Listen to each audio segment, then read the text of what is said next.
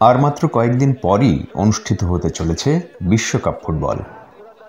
কে হবে চ্যাম্পিয়ন? সেই তর্ক চলছে বিশ্বজুড়ে। বাংলাদেশেও চলছে এই বিষয়ে চুল চেরা বিশ্লেষণ। দেশ জুড়ে চলছে বিশ্বকাপ জ্বর। এই বিশ্বকাপ জ্বরের মধ্যে যুবকদের মাঠমুখী করে মাদকের ভয়াল থাবা থেকে রক্ষা করতে বিশিষ্ট ব্যবসায়ী এ কে এম ফাইকুজ্জামানের উদ্যোগে গোপালগঞ্জের মকসুদপুরের বাটিকামারি রথখোলা বঙ্গবন্ধু মিনি স্টেডিয়ামে আয়োজন করা হয়েছিল মাদক বিরোধী প্রীতি ফুটবল ম্যাচ।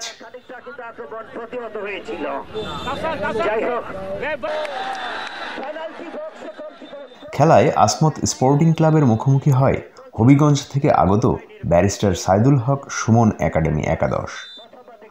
আক্রমণ পাল্টা আক্রমণের মধ্য দিয়ে দুই দলের খেলা হয়ে ওঠে উপভোগ্য। খেলায় অংশ নেন ব্যারিস্টার সুমনও। নির্ধারিত সময়ে খেলা এক এক গোলে ড্র হয়, আর এমন খেলা দেখতে পেরে খুশি দর্শকরা। এই মাঠটা আলোড়ন সৃষ্টি করছে, খেলাধুলা দিতেছে। আমরা সেই খেলা অনুভব করতেছি, খুব আনন্দ ভোগ করতেছি আমরা খেলা দেখে। আমরা চাই এই খেলা আরও ভালো খেলা হোক, সরকার এটার প্রতি দৃষ্টি আকর্ষণ করুক। এখানের অনেকেই বিভিন্ন নেশার সাথে জড়িত হয়ে গেছিল। এই খেলা আবার শুরু হতে যুব সমাজ উপকৃত হয়েছে এবং খুশি। আমরা অনেক খুশি এই মাঠে আবার খেলা ফিরে আসছে। আমরা খেলাধুলাকে ভালোবাসি আমরা খেলা দেখতেছি আমাদের খেলা খুব সুন্দর ভালো লাগতেছে।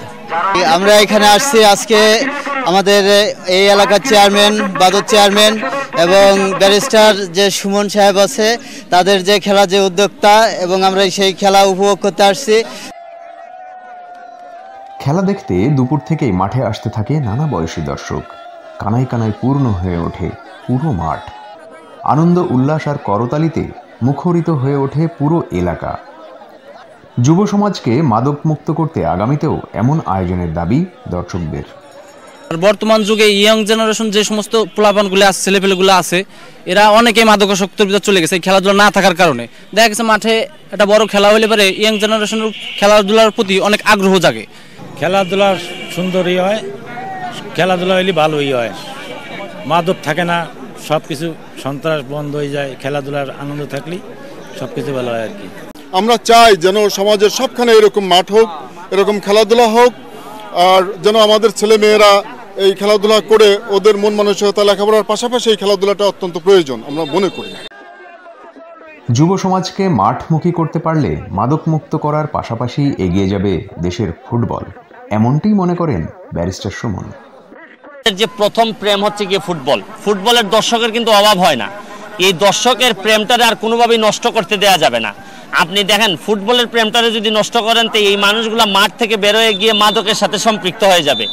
এই জন্য আমি চাচ্ছি যে সারা বাংলাদেশে বিভিন্ন ডিস্ট্রিক্টে যাচ্ছি। প্রতি সপ্তাহেই কোনো না কোনো ডিস্ট্রিক্টে যাচ্ছি। হাজার হাজার মানুষের সম্মেলন হইতেছে। এখানে কয়েকটা কাজ করা যাচ্ছে। একটা হচ্ছে গিয়ে ফুটবলের কথা বলা যাচ্ছে। ফুটবলটাকে ফিরাই আনার জন্য চেষ্টা করা হচ্ছে। তরুণদেরকে মাঠে নিয়ে আসার ব্যবস্থা করা হচ্ছে। মাঠগুলাকে দখলমুক্ত করার চেষ্টা করা হচ্ছে এবং আপনি যে দলমত নির্বিশেষে একটা বাংলাদেশ, বঙ্গবন্ধুর যে সোনার বাংলাদেশের কথা বলবেন, সোনার মানুষের কথা বলবেন, মানুষ তো এখন আর কোনো কথা কারও শুনতে চায় না। এই জন্য ফুটবল মাঠে দেখা যাচ্ছে যে দল, মত, ধর্ম, বর্ণ নির্বিশেষে মানুষ এক জায়গায় আসে।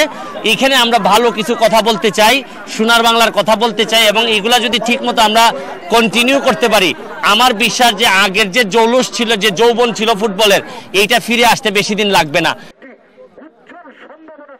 মাঠের উন্নয়নে এক লক্ষ টাকা অনুদান দিয়ে আগামীতেও এমন আয়োজনের কথা জানান আয়োজক।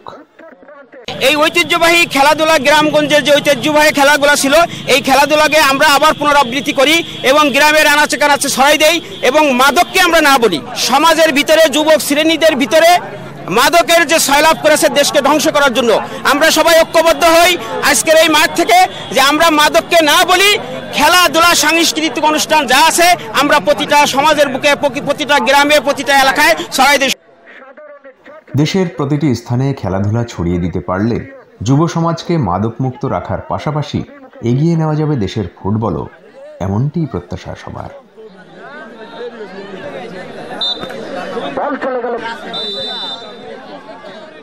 গোপালগঞ্জ থেকে বাদল সাহার পাঠানো তথ্য ও ভিডিও নিয়ে report Ibnul Kaim Soni rising BD dot com.